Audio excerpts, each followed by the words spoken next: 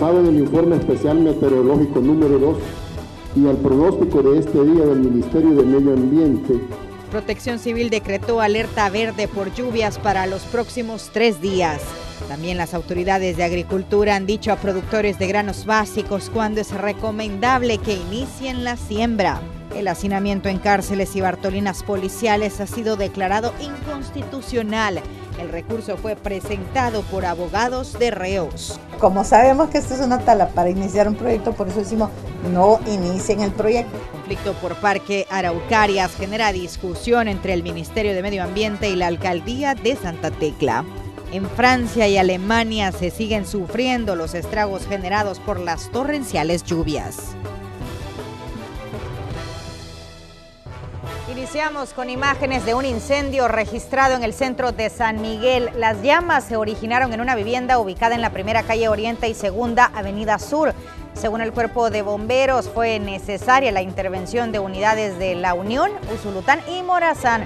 Los trabajos para sofocar el siniestro se prolongaron por un par de horas y afortunadamente no hubo víctimas.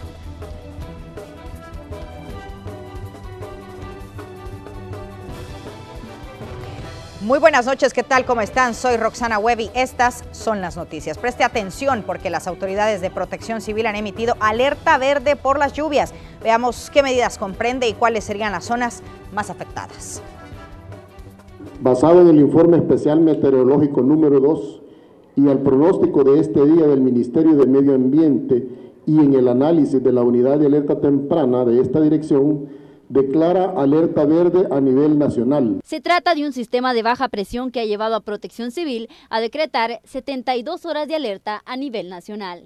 Debido a pronóstico de lluvias tipo temporal y tormentas de diferente intensidad de moderadas a fuertes para las próximas 72 horas. Según las autoridades, la mayor cantidad de lluvia será perceptible en la cordillera volcánica y en la zona costera del país.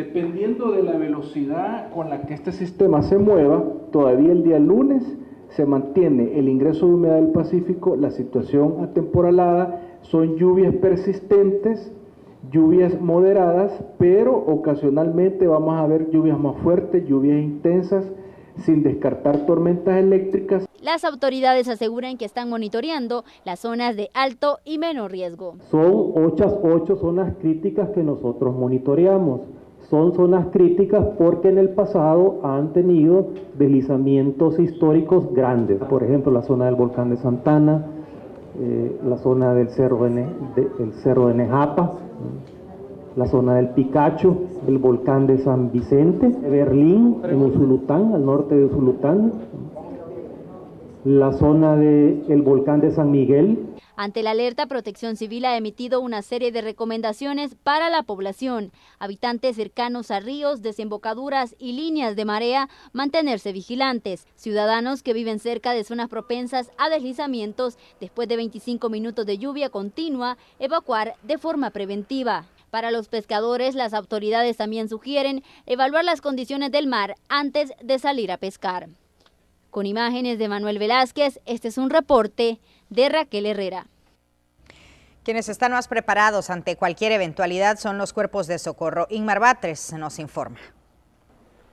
Muy buenas noches, Roxana, amigos televidentes. Así es, las instituciones de socorro ya están listas ante cualquier eventualidad que se pueda suscitar. Y no es para menos, como ya pudimos ver, las autoridades han decretado alerta verde por las lluvias. Pero para más detalle le invito a ver la siguiente nota. Ante la alerta verde por lluvias, las instituciones de socorro centran su atención en las zonas más vulnerables y están listos ante cualquier situación de emergencia que se deriven de las precipitaciones que se han pronosticado para las próximas 72 horas.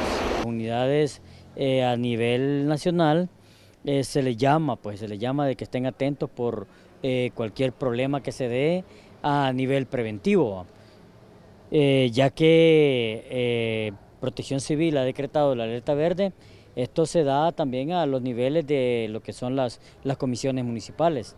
Ah, pues todo el mundo nos activamos en lo que es a nivel de San Salvador y a nivel de los departamentos. Los bomberos son parte importante del esquema de alerta diseñado por las autoridades y señalan las zonas más propensas durante las lluvias. Que la parte de la 29 de agosto suele dar bastantes problemas, la que tenemos al frente, que como decíamos, la Málaga ya tiene con las este, este, medidas que se tomaron hace un tiempo, este, eh, eso gracias a Dios ha disminuido. Esto prácticamente, digo, todas las personas que viven en riberas de, quebradas, eh, eh, en general prácticamente todas. Las personas que viven o transitan por lugares declarados como peligrosos también son conscientes de las medidas de precaución que se tienen que tomar. Estar alerta, va, toda la, cuando el río crezca, así pues, por cualquier cosa, pues tomar las medidas necesarias. Tenemos que estar pendientes de, de la crecida de los ríos, de que no estemos demasiado cerca del, de, algún, de alguna quebrada, podríamos decir, ¿verdad? Porque este, en la noche más que todo, que dormido nos puede agarrar esa tormenta. Las autoridades piden que la población esté pendiente de los pronósticos del clima para las próximas horas y que de encontrarse en una situación de riesgo, sigan las indicaciones para evitar una desgracia. Así es, y no está de más hacer nuevamente el llamado para todas aquellas personas que viven en zonas vulnerables a que acaten las recomendaciones de las instituciones pertinentes. Roxana. Muchas gracias, Sigmar, por esa importante información que nos has compartido esta noche. Gracias. Buenas noches. Hay que estar alertas, como ya bien lo decía Ingmar, porque las fuertes lluvias de anoche provocaron el colapso de un puente provisional que conecta los municipios de Chapeltique con Moncagua en San Miguel. El paso por la zona está totalmente inhabilitado. El incremento del caudal del río afectó además a habitantes de varios cantones y caseríos de la zona.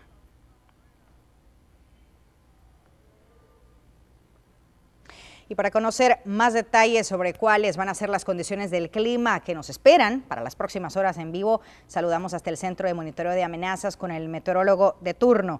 Adelante. Sí, buenas noches. Este es el pronóstico del tiempo para esta noche, también para este fin de semana. Estamos influenciados por varios sistemas. Tenemos una baja presión ubicada al sur del país.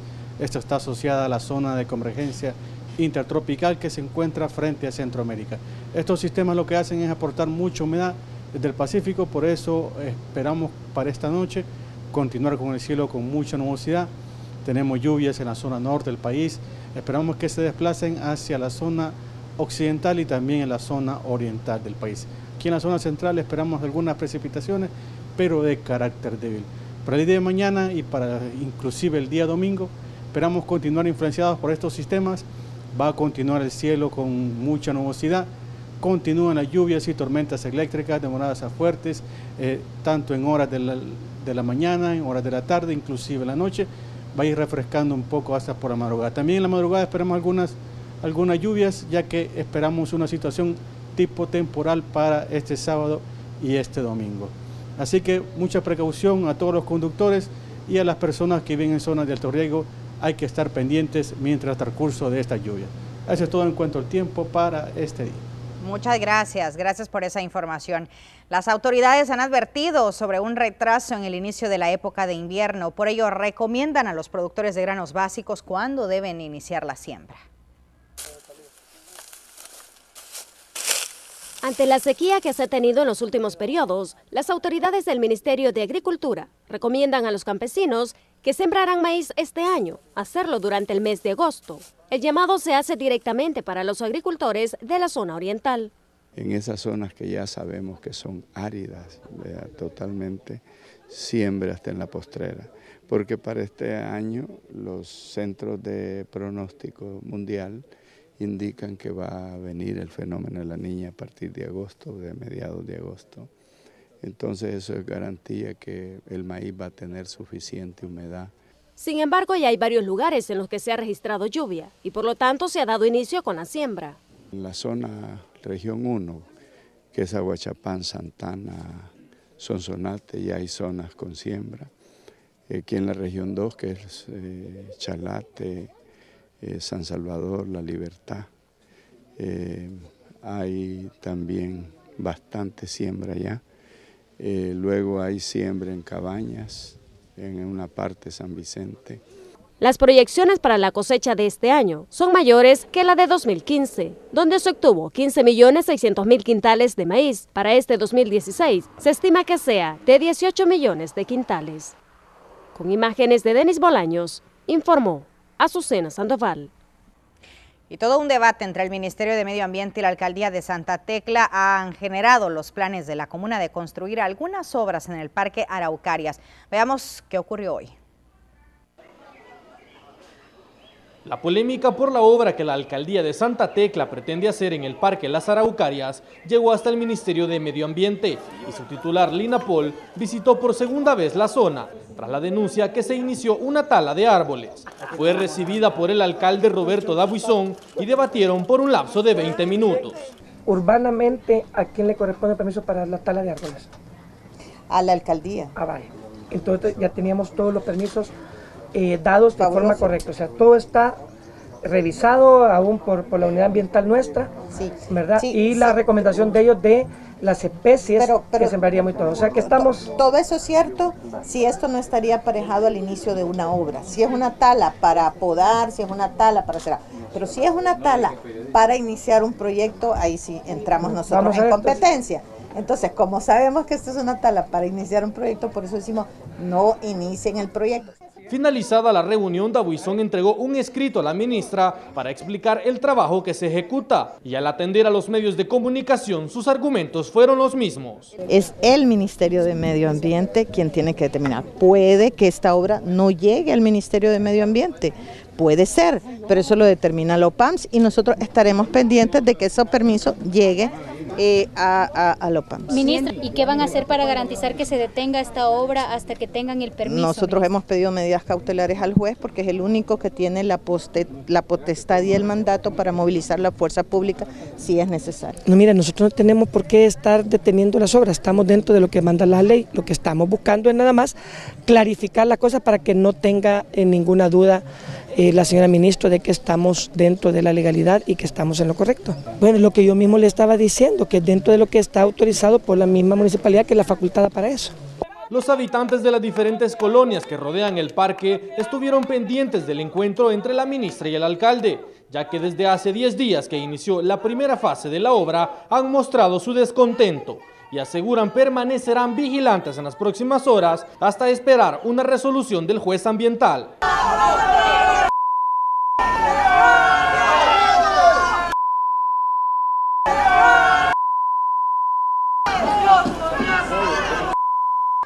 Imágenes de Ever Ábalos, este es un reporte de Néstor Hernández. Habitantes junto a representantes de la Unidad Ecológica Salvadoreña presentaron una denuncia ante la Fiscalía General en contra del alcalde Roberto Dawison por actos arbitrarios debido a la tala de árboles en el Parque Las Araucarias. Por medio de protestas, residentes de la zona han manifestado su desacuerdo por los planes de la comuna de construir una oficina distrital en el parque. ¿Dónde está ubicado específicamente el Parque Las Araucarias de Santa Tecla? Pues al norponiente del municipio, en la colonia Alpes Suizos 1, aunque está rodeado por varias colonias como la Quesaltepec, a 15 minutos del centro de Santa Tecla. Tres accesos llevan hacia este parque, el Boulevard Sur, la carretera Panamericana y el Boulevard Monseñor Romero.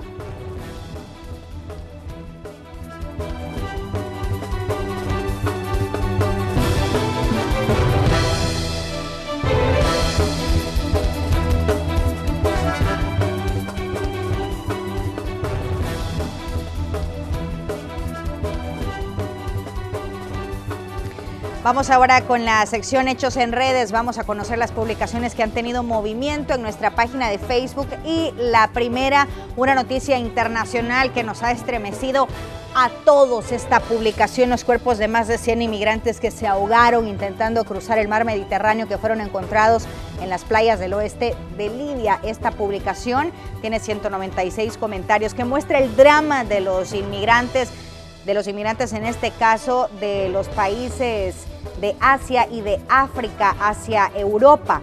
Esta publicación ha sido compartida 402 veces y además un alcance de 238.317 personas que vieron esta publicación. Vamos ahora con la segunda, mostrarles a ustedes en pantalla un hecho de violencia que nosotros reportábamos más temprano, 1953 likes o me gusta, 92 comentarios, compartida 45 veces y un alcance de 109.354 personas que vieron esta publicación. Y la tercera, para mostrarles a ustedes a continuación en la sección Hechos en redes, la nota de la aprobación del incremento al salario mínimo, 550 me gusta, 102 comentarios, compartida 27 veces, además un alcance, es decir, las personas que han visto esta publicación, 83.916. Recuerde, para estar muy bien informado, nos puede buscar en nuestras diferentes redes. Estamos en el Instagram, estamos también en Twitter y en Facebook, que eran las imágenes que les mostrábamos hace unos segundos. Nos busca como Noticiero Hechos. En minutos, hacinamiento en cárceles y bartolinas policiales ha sido declarado inconstitucional.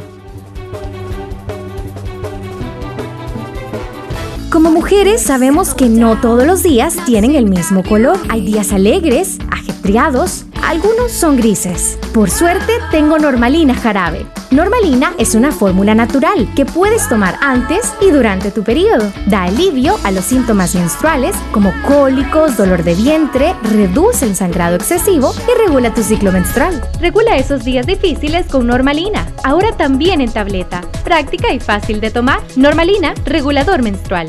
En Galvaniza encuentra lo que necesita para empezar y terminar bien su construcción. Venga, permítanos asesorarle desde el hierro, polines, vigas, tubos y angulares más resistentes y duraderos hasta el techo que se ajusta a su gusto y presupuesto. Fabricamos a la medida exacta para que obtenga máximo ahorro y máxima calidad y proteger lo que más importa, su familia, propiedades e inversiones. Cuando piense construir, confíe en el líder. Galvaniza, número uno en hierro y techos.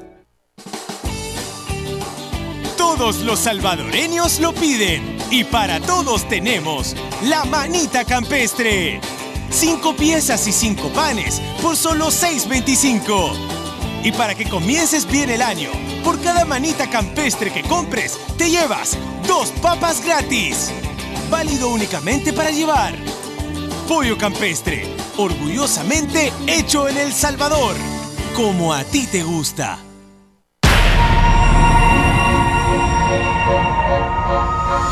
Un nuevo Axe está llegando. Fragancias para todos los días, creadas por los mejores perfumistas del mundo. Experimenta el nuevo Axe.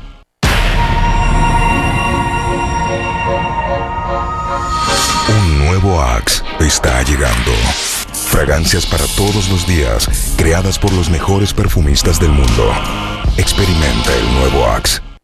Porque tú nos inspiras a ser mejores salvadoreños, te invitamos a que aproveches estas super ofertas. Pan Monarca 480 gramos 95 centavos. Huevos Dani rojos medianos 15 unidades 1.50, ahorro 62 centavos. Tupac aceite Mazola Natural Blend Doy Pack 750 ml 2.50, ahorro 1.04. Pañales Hoggies Classic Mega de 32 a 48 unidades 7.90. Super Selectos. Ofertas válidas del 3 al 6 de junio. Restricciones aplican. La felicidad de su pancita lo acompaña todo el día, ya que Nantres de Nestlé le cae bien, porque contiene el probiótico L-Confortis que ayuda a mejorar la digestión de tu niño, además de tener los nutrientes necesarios para que siga creciendo feliz. Conoce más sobre el probiótico L-Confortis en Nestlé. Comienzo sano, vida sana. Vuelven los platitos coleccionables. Lleva el tuyo con la compra de Nantres. Son cuatro diferentes. Colecciónalos.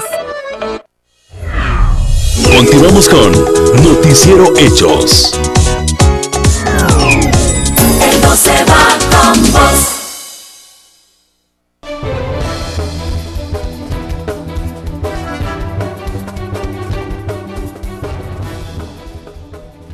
Gracias por continuar con nosotros. La Fiscalía espera que los diputados inicien el proceso de antejuicio para llevar al exministro de la Defensa ante los tribunales por actos de corrupción cuando estuvo al frente de la Fuerza Armada en el 2011.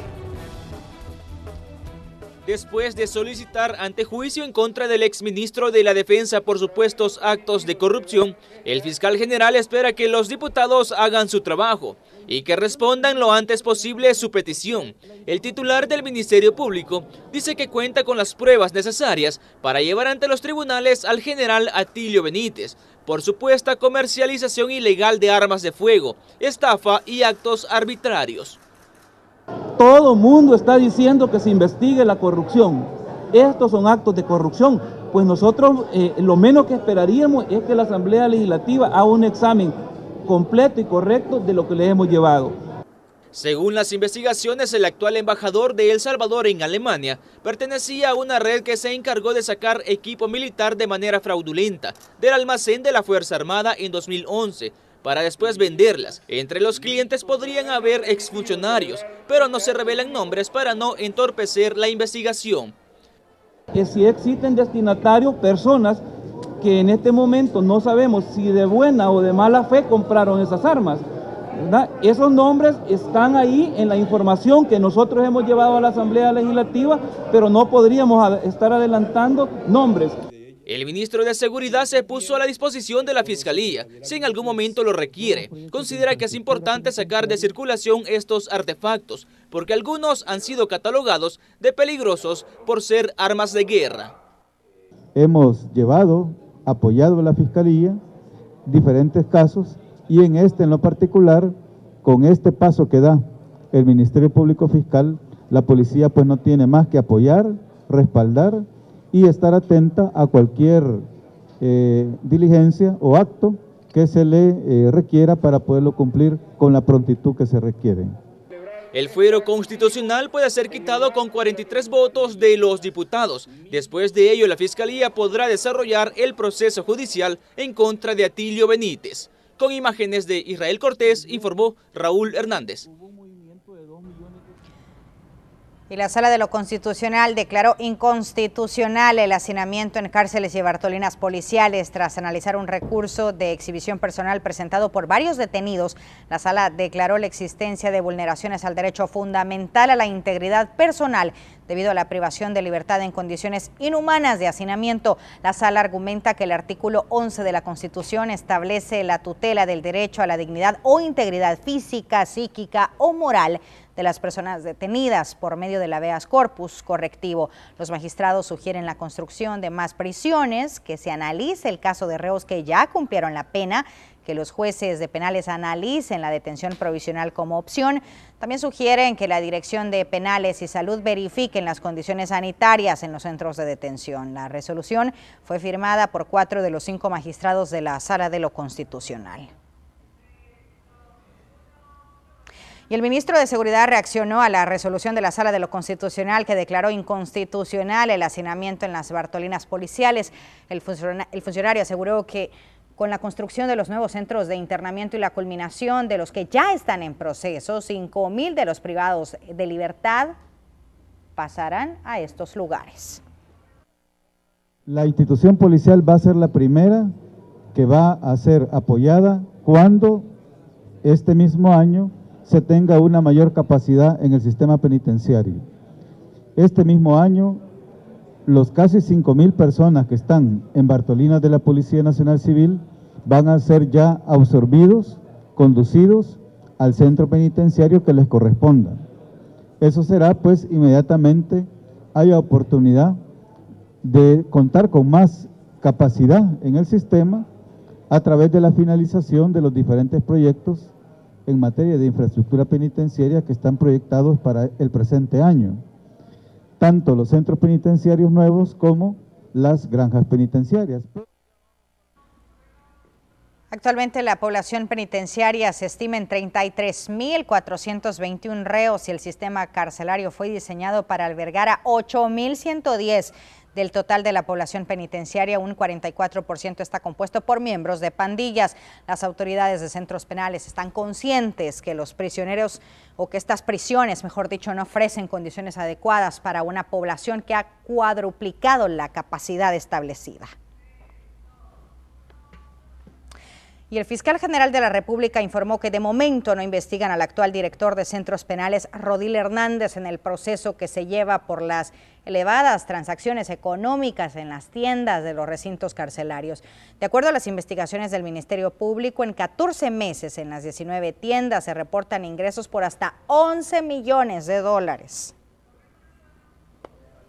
Ha surgido otra información eh, que hemos estado evaluando de los movimientos en diferentes años de la tregua. Precisamente de los 11 millones que yo estoy hablando, fueron en los últimos 14 meses, que entiendo que fue del mes de febrero del año pasado al mes de abril de este año. Esos son los movimientos que existen en las tiendas, es decir, dineros que han ingresado y han fluctuado en las diferentes tiendas, que si no me equivoco son 19 a nivel nacional. Nosotros lo que estamos evaluando es el origen de esos fondos y el destino de los mismos, porque podría estar ocurriendo que estén ingresando fondos incluso eh, provenientes de rentas de las pandillas ahí. Y eso, es, como una de las hipótesis. La Fiscalía de Santa Ana ordenó la captura de ocho agentes de la policía acusados de introducir celulares, cargadores y otros objetos prohibidos, así como droga a las Bartolinas del Sistema 911 de esa ciudad. Según las investigaciones, los agentes cobraban 500 dólares a cambio de ingresar los ilícitos. El domingo la Fiscalía presentará el requerimiento en contra de los policías.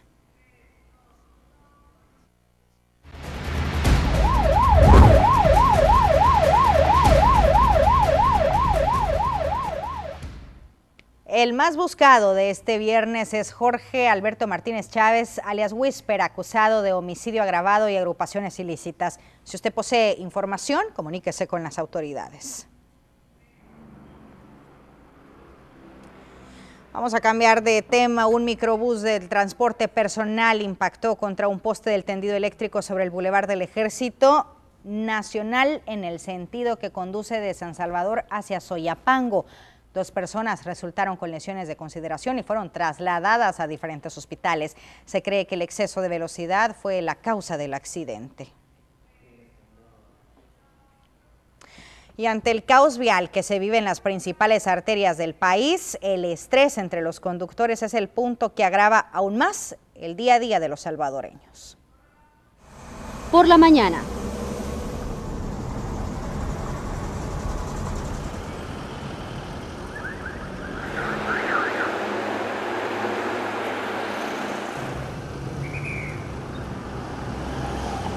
Esas son las arterias más congestionadas del país, el dolor de cabeza con el que miles de ciudadanos reciben el día. No hay cosa peor que manejar así como estamos ahorita con este estrés de todo el día, los siete días de la semana, los 365 días del año. Para algunos el estrés inicia desde que encienden su carro o se suben a un autobús. ¿Y a dónde vaya, eh? Porque antes decía, ok, me voy por acá y, sé que el tráfico va a estar más o menos. Hoy no. A donde vaya, ahí hay, hay trabazones. El nivel de estrés es tal que encontrar automovilistas que pierden el control de sus acciones durante el tráfico se ha vuelto cotidiano. Mire, esto se pone bien desesperante porque unas trabazones insoportable. Me han hecho sacado de la calle, me han insultado por la imprudencia y un relajo feo que hace la gente. Para el psiquiatra Miguel Fortín Magaña, estas conductas generadas por el estrés tienen como origen en que somos una sociedad altamente violenta. Se han puesto a pensar por qué los buceros son tan odiosos con tan frecuencia. Es porque viven metidos en ese estrés todo el tiempo es porque realmente están metidos en una trabazón y en otro trabazón y tratan de meterse por un lado y por el otro. Es decir, eh, esto repercute directamente en la personalidad o en la expresión de la personalidad de alguien. Durante el tráfico, la salud física y mental también puede verse afectada.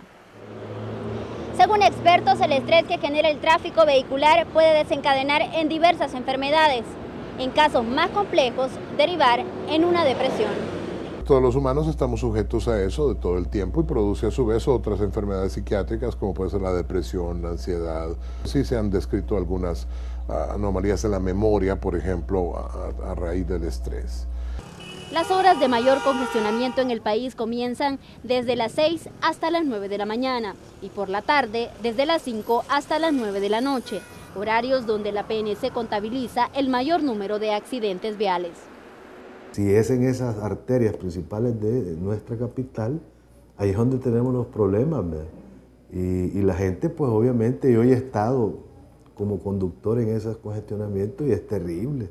Le agarra, como usted decía, ansiedad, ¿verdad? Y esa ansiedad puede ser eh, generadora también de otro accidente que el parque vehicular en el país ronda el millón de automotores. Solo en San Salvador circulan casi la mitad. unos 473 mil vehículos. Esa es una de las tres razones por las que se complica el tráfico, sobre todo en horas pico. Eh, en segundo lugar está, digamos, los vehículos estos eh, que tienen desperfectos mecánicos o un accidente, nos complica. En tercer lugar, podríamos decir que la obra física en algunos lugares pues no es la ya adecuada. Por ejemplo, todos sabemos que en los chorros, eh, toda la carga que viene del occidente del país, incluso del norte de América, de todos los que vienen de Guatemala, entran por ese lado. Y ahí el panorama del resto del día para centenares de automovilistas y ciudadanos no es alentador. Finalizan su jornada como la iniciaron, con autopistas, calles y avenidas abarrotadas de vehículos. Con imágenes de Manuel Velázquez, este es un reporte de Raquel Herrera. Gracias Raquel. Y sin duda nuestra salud mental debe de ser prioridad porque depende de cómo nos comportamos eh, y lo que estamos pensando y cómo vemos la realidad es cómo después vamos a tener comportamientos y así podemos evitar muchos casos de violencia. Muy importante esta nota. Muchas gracias, Raquel. Vamos ahora a hablar de negocios en la sección negocios. Recientemente, Tropigas remodeló su sucursal en San Vicente, la cual cuenta con más espacio y muchos más productos accesibles para todos los vicentinos. El local está ubicado en la segunda avenida norte y la tercera calle en el centro de la ciudad. Los clientes pueden adquirir sus productos hasta con 42 meses de financiamiento y más ventajas. Pizza Hut presentó la mejor versión de su línea Gold, la cual podrás disfrutar de los Hot Combos y Hot Packs Pepperoni Gold. Para banquetes familiares, las nuevas pizzas ya están disponibles en restaurantes a domicilio para llevar en food carbs. Inició la feria de autos Autoback Weekend. Para el evento, el cliente podrá encontrar las principales distribuidoras automotrices del país y se lleva a cabo en el estacionamiento oriente de la Gran Vía del 3 al 5 de junio, en horario de 10 de la mañana a 9 de la noche, de viernes a sábado. El domingo será de 10 de la mañana a 7 de la noche.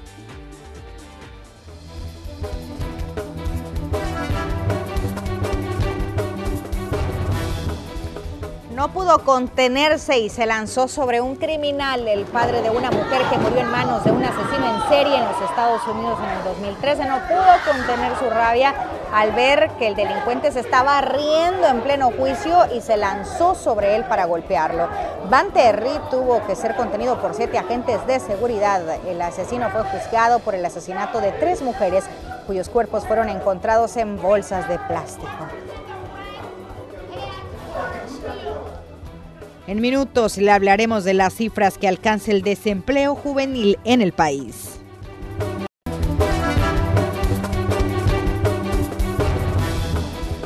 El presidente Salvador Sánchez Serén viajó hoy a Cuba para participar en la séptima cumbre de la Asociación de Estados del Caribe. Son 25 estados los que conforman esta asociación y que tratarán temas como cooperación y estrategias para mantener la paz. El caso venezolano, según las organizaciones, será discutido si alguno de los participantes lo solicita.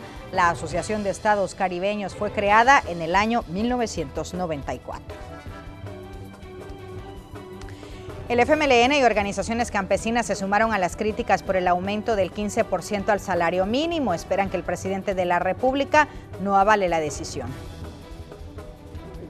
El incremento del 15% del salario mínimo no ha sido del agrado para sectores políticos. El FMLN sale al paso criticando la decisión del Consejo Superior al Salario Mínimo dice que el incremento no contribuirá a mejorar la calidad de vida de los trabajadores. Aumentar 35 dólares en tres años cuando la canasta básica ronda los 400 dólares. Está fuera de la realidad, considera la izquierda. El presidente debe analizar la decisión, considera el secretario general del FMLN. De un aumento eh, irrisorio, un aumento que no es aumento, es un aumento falso se critica el actuar de los representantes del sector laboral en el Consejo Superior, al haber apoyado la propuesta del sector empresarial. Pues nos parece que la ANEP pues este, ha vuelto a repetir lo que siempre ha hecho en este país, ¿verdad? Es aprobar eh, por mayoría, en este caso, Por ejemplo, en el sector agrícola, en tres años se pasará de 124 dólares con 11 centavos a 136 con 83 centavos. Es decir, que el aumento será de 12 dólares con 72 centavos. Para estas organizaciones de campesinos, la decisión es una burla. Piden al presidente que no apruebe la medida. Si nosotros los pequeños eh, campesinos, eh, pequeños jornaleros que producimos la alimentación de este país, tenemos la capacidad de poder pagar un salario de esa magnitud, entonces creemos que entonces también la gran empresa privada de este país también tiene la capacidad. De igual manera, en tres años, el incremento en el sector comercio será de 24 dólares con 20 centavos y en la industria de 26 dólares con 54 centavos, según el acuerdo aprobado. Ahora todo está en manos del presidente de la República. Con imágenes de Israel Cortés, informó Raúl Hernández. A continuación, economía al costo con Crisia Recinos.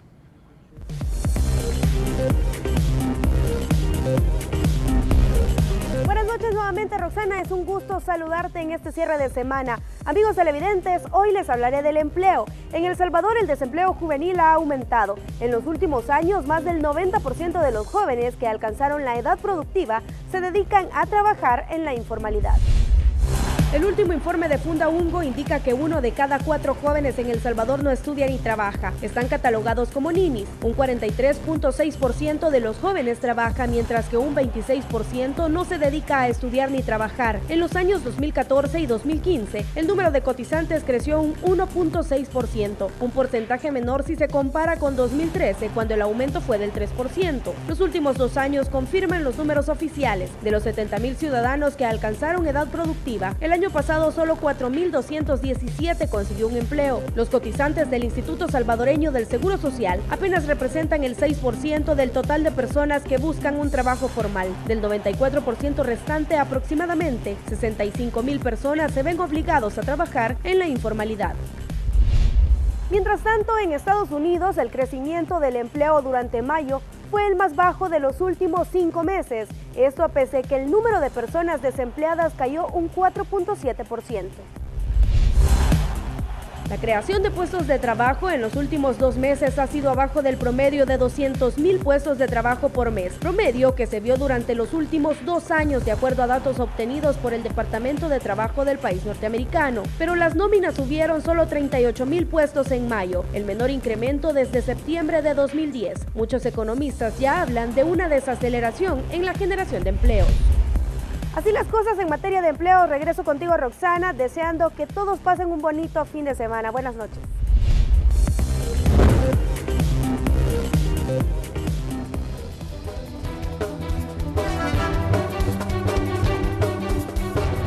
Gracias, Crisia, por Economía al Costo. Este es un video viral de una niña de 10 años. Fue grabado mientras recibía una muñeca con una prótesis similar a la de ella. El video ha sido visto más de 10 millones de veces en Facebook. La niña grita, tiene que ser una broma, es lo que dice antes de abrazar a la muñeca y llorar de la emoción. La mamá comenta que envió el juguete a la compañía que los fabrica para que la hicieran especial.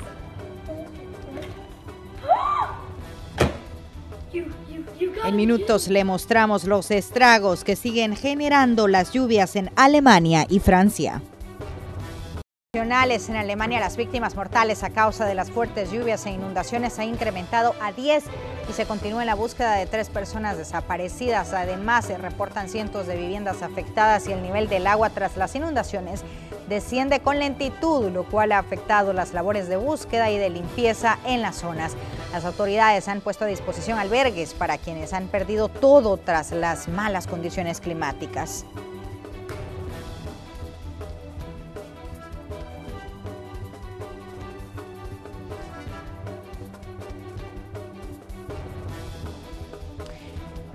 Y en París, Francia, hoy amaneció en estado de alerta por la mayor crecida del río Sena en las últimas tres décadas. Las autoridades pidieron a los habitantes que evitaran los bancos cercanos al río, cuya crecida puede llegar a los seis metros. Además, el museo fue cerrado para preservar las obras conservadas en sus depósitos después de varios días de incesantes lluvias e inundaciones.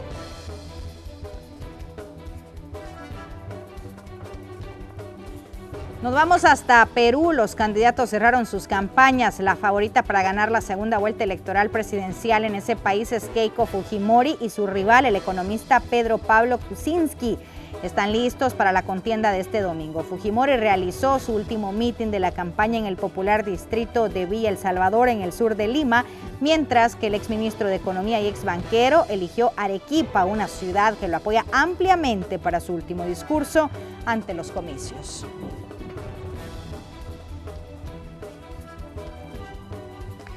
La cápsula Infobae a continuación con otras noticias del mundo.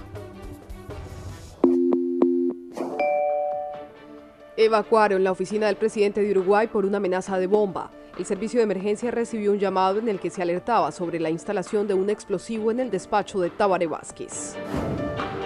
El Papa llamó a los jueces del mundo a no caer en la telaraña de la corrupción. En un acto con magistrados de 30 países, Francisco también afirmó que la Iglesia debe meterse en la gran política.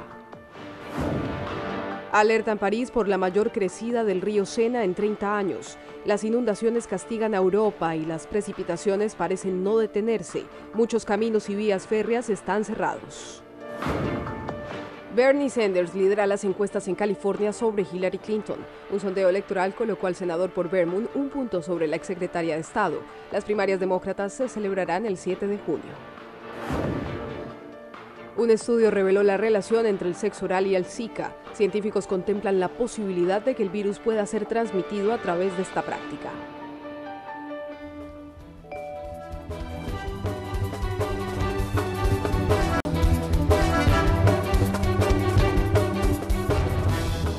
Son las 8 de la noche con 51 minutos. Saludamos a Carlos Artiga para un avance de los deportes. Carlos, me imagino mucha expectativa por el partido entre Colombia y los Estados Unidos. Mucha expectativa por eso, Roxana. ¿Cómo te va? Eh, muy buenas noches, un gusto saludarte. Eh, pues victoria eh, de la selección de Colombia 2 a 0, al menos hasta hace unos minutos era el marcador. y pues todos esperaban ver una selección norteamericana un poquito más agresiva. Recordemos que están jugando de locales, pero pues los colombianos parece que llegan a reivindicarse a esta Copa América Centenario, Roxana. Entonces estado pendiente del duelo, por lo que veo, ¿no? No, pues no he podido porque he estado acá en el set preparándome para el noticiero. Eh, no he podido, no lo pude ver, pero evidentemente, pues desde la mañana y toda la semana que tú nos has estado compartiendo de esos reportes, pues he estado pendiente y obviamente esperaba que ganaran los colombianos. Pues sí, Iván, fíjate, van encaminados eh, con un 2 0, como te digo, es el único partido que se juega hoy. Carlos. Eh, comenzaba a jugarse 7.30 de la noche, es decir, estarán eh, ahorita comenzando, va comenzando el segundo tiempo, eran minutos, ¿no? Eh, minutos más del segundo tiempo y sigue 2 a 0, ¿verdad? Así que Voy a tener chance. Carlos, una consulta de tu quiniela, eh, ¿este resultado era más o menos así o...? No, para nada. Yo pensaba que este, este partido se lo quedaba Estados Unidos, aunque queda todavía el segundo tiempo, pero se ve bien difícil. Eh, así que bueno, vamos a ver si se, dan los de mañana. Mañana yo tengo a Ecuador como la sorpresa ante Brasil. Veremos si no se cumple. es que la lógica te decía que Colombia iba a ganar, ¿no? Pero eh, a veces eso no se cumple en el fútbol y, hay sorpresas. mañana sería Ecuador con Brasil, ¿verdad? Mañana es a las 8 de la noche Ecuador contra Brasil. ¿Pero sería la misma Brasil del Mundial? Eh, hay algunas variantes, por ejemplo, no está Neymar, no está Firmino, hay algunas figuras que no están como Marcelo, el Real Madrid, pero sí llega la mayoría de, jugadores que, conoce la gente, ¿no? De Brasil, ¿sabes? Eh, vamos a hablar de selección nacional también. Eh, yo sé que el tema, pues a algunos no les gusta mucho tocarlo, ¿verdad? Pero eh, recordemos que la semana cerrado con dos duelos que fueron derrota para el equipo de Ramón el Primitivo Maradiaga. todo el mundo está hablando del Primi, si se va, si se queda, qué va a suceder con él. entonces tendremos tiempo para platicar de esto porque están ya a la vuelta de la esquina los duelos contra México y Canadá el mes de septiembre, que son los partidos eh, ya de la fase final de la eliminatoria en su tercera ronda. Además, también estaremos pendientes de lo que pasa en la segunda división porque se comienza a jugar en el Estadio Gregorio Martínez la final de la segunda. Veremos quién es el equipo que sube, el equipo que hereda la posición Roxana del Atlético Marte, que es el eh, que fue el equipo que descendió, ¿no? En la primera eh, tenemos dos contendientes de los extremos de la República, uno allá del área de Chalatenango y otro del área de la Unión. A ver, porque podríamos tener dos equipos de la Unión, fíjate, porque ya está el Pasaquina jugando y podría llegar Municipal Limeño, este equipo de Santa Rosa de Lima, del departamento de la Unión, allá se cerrará la final, se comienza a jugar en la cancha del Gregorio Martínez, donde Comalapa será local, y eh, el domingo a las 3.30, y se cierra en la cancha del Ramón Flores Berríos, que es donde juega sus partidos como local el equipo del Municipal Limeño. Eh, pero no solo eso, también vamos a platicar, como ya tú bien adelantabas, de Copa América que se ha comenzado a jugar. Eh, tendremos eh, imágenes de ese duelo cuando haya finalizado, claro está, entre los Estados Unidos y Colombia. Y nos adelantamos a lo que se viene mañana. Roxana te contaba tres partidos, pero pues el de fondo, el más atractivo de los más atractivos también, el duelo entre Ecuador y Brasil. Además también hay partidos el día domingo, de eso hablaremos y más en Pizarrón Deportivo en unos cuantos minutos, Roxana. De momento, pues seguimos contigo los últimos minutos de la hora, pendientes en Noticiero Hechos. Muchas gracias, Carlos. Buenas noches. Un gusto, feliz noche. El gusto es nuestro. Buenas noches. 8 con 55 minutos. Les cuento que la alcaldía de San Salvador anunció la segunda carrera por el medio ambiente a realizarse el domingo 5 de junio a las 7 de la mañana. Los fondos recaudados serán donados al Instituto de Fibroma Quístico. Se espera que en la carrera participen más de 2.500 personas.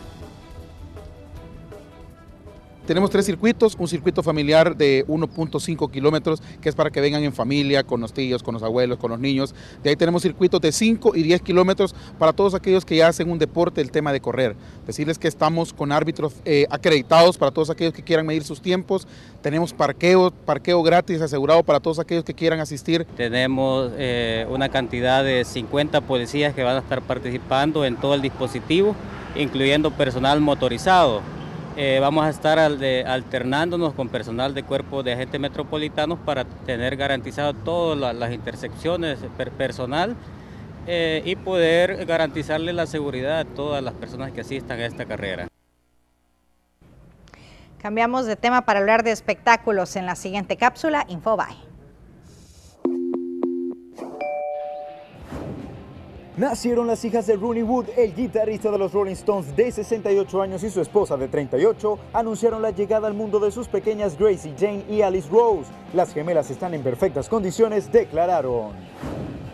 El cineasta Roman Polanski enfrenta nuevamente un proceso de extradición por decisión del ministro de Justicia polaco. La defensa de Polanski, acusado de violar a una menor en Estados Unidos hace 39 años, aseguró que la medida no es una sorpresa.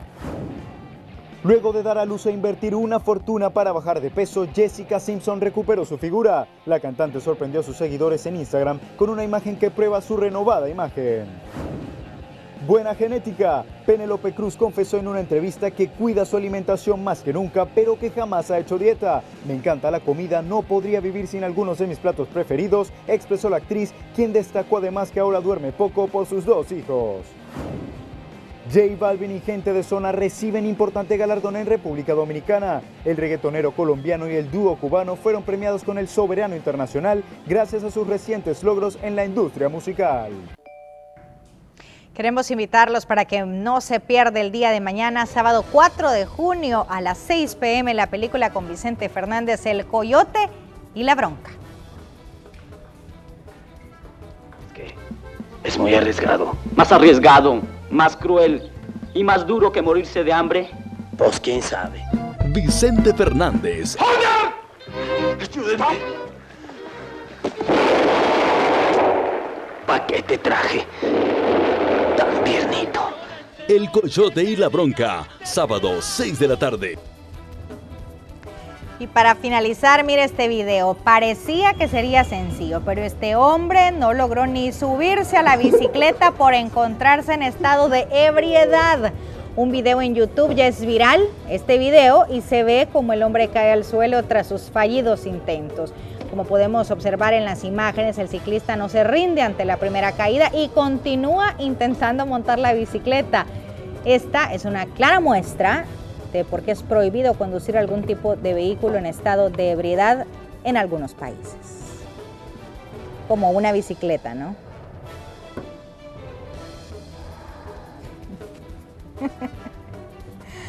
bueno, así nos despedimos. Que pasen un feliz fin de semana. Hasta el lunes.